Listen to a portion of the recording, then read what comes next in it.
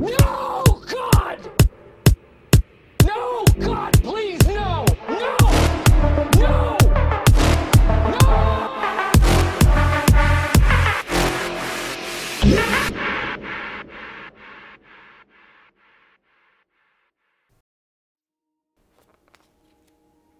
Tu ne devrais pas rester figé comme ça. Tu ne devrais pas non plus me regarder. Tu ignores tout de moi et ça devrait rester ainsi.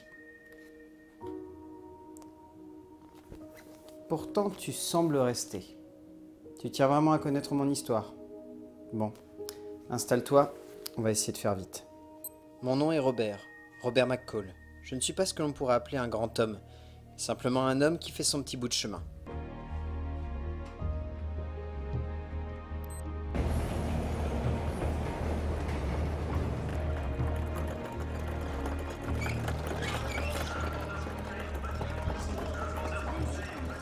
Je me contente de vivre et de faire ma petite vie de magasinier dans une boîte de meubles. Eh papy, je parie que tu poussais pas les chariots dans ton ancien boulot.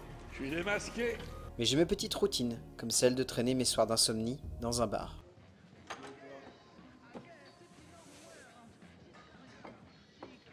Où j'ai mes petits habitués, dont cette jeune femme, Terry. Alors ce poisson, il l'a eu? Il vient de mordre. Elle semble mener une vie bien triste, faite d'hommes se succédant au chevet d'un lit qui ne lui appartient pas. Et je vous dis même pas la tête de son patron que je croise un soir en la ramenant chez elle. Pour qui tu te prends? Ça va, ça va, ça va. Ça va, Robert. De mon côté, j'essaye simplement d'aider mon prochain, de rendre sa vie un peu meilleure, comme mon collègue Ralphie. Eh, ne doute pas de toi, petit, le doute ça tue. Allez, debout, lève-toi. Mais un soir dans le bar, je ne revois pas Terry.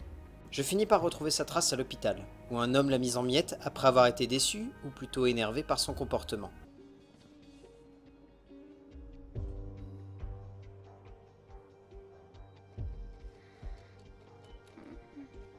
C'est là que je fais la rencontre de Mandy, une de ses très bonnes amies, qui me raconte un peu plus en détail ce qui ne va pas. Un gars l'a cogné.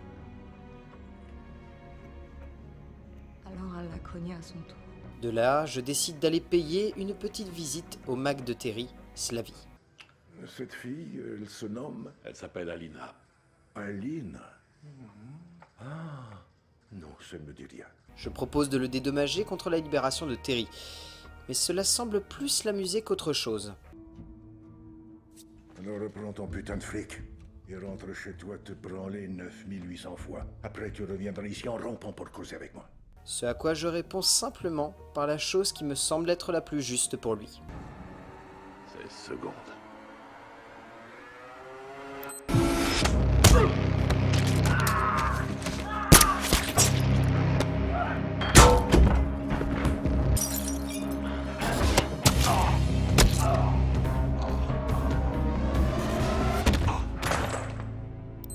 Je vous avais prévenu, mon histoire est loin d'être simple, tout autant que je ne le suis pas.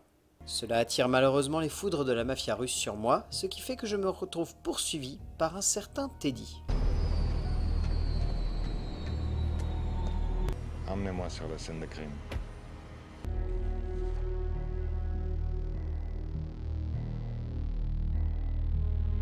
Un homme d'une grande délicatesse d'esprit et de geste.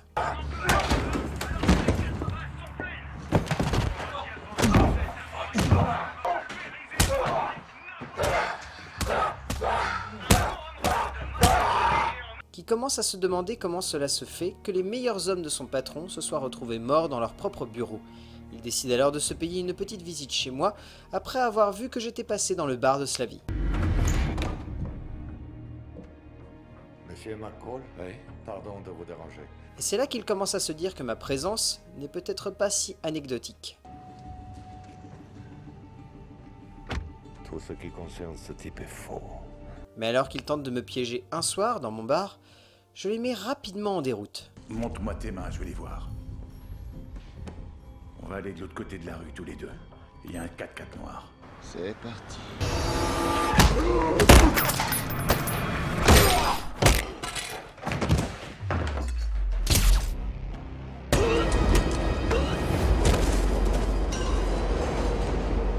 À partir de ce moment, je me rends compte que je ne serai plus en sécurité chez moi. Je décide donc de rendre visite à une vieille amie.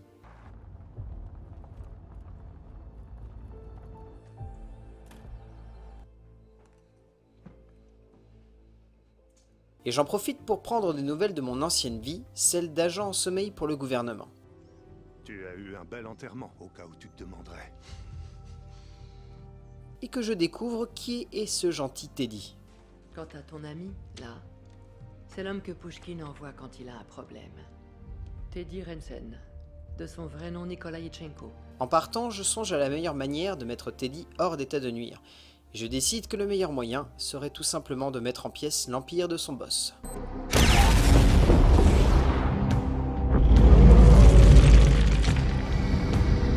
Ce qui forcément attire l'attention de son chef, un certain Pushkin. Pushkin. Mhm. Il est comme les autres oligarques qui sont de mèche avec la mafia russe. Seulement lui, il finance absolument tout. Il fait sauter mes camions de citerne et vous dites de pas m'inquiéter, que vous allez régler ça. Je suis extrêmement embarrassé. De mon côté, je prépare les terrains pour la suite de mon plan. Sans me douter que de leur côté, leur plan est bien clair. Leur seule solution s'appelle alors Ralphie, qu'ils décident de détenir en otage avec toute la bande du magasin où je travaille. Qu'est-ce qui se passe? Qu'est-ce qu'on...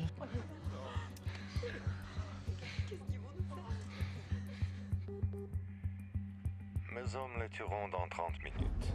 À moins que vous soyez ici dans 29. C'est ainsi que je décide de prendre une rude décision, celle de me jeter dans la gueule du loup pour mieux sauver tout le monde. Quand vous le verrez, abattez-le.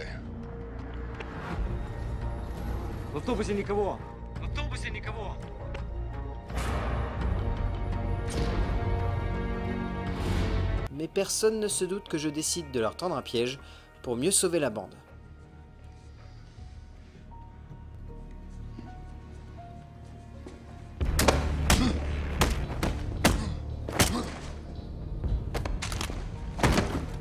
Écoute, fais sortir tout le monde d'ici. Ne laisse personne. La porte de service derrière. Passe par là. Ah. Et que je mets alors chacun des hommes de Teddy en pièces.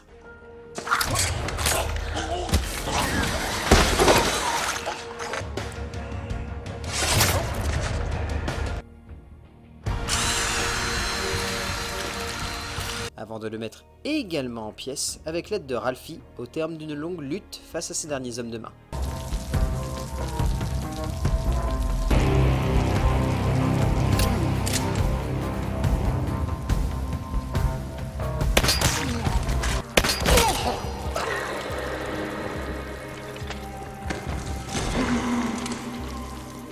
pensez vraiment que ça doit se finir ainsi Le flingue n'est pas là. Mettez la serviette sur vous. Qu'est-ce qu'on vous voulez Je veux la tête du serpent.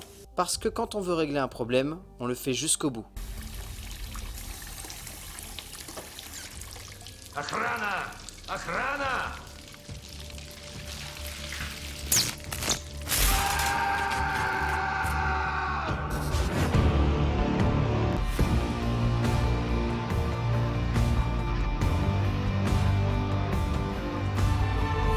Ce qui permit à Alina d'être hors de danger.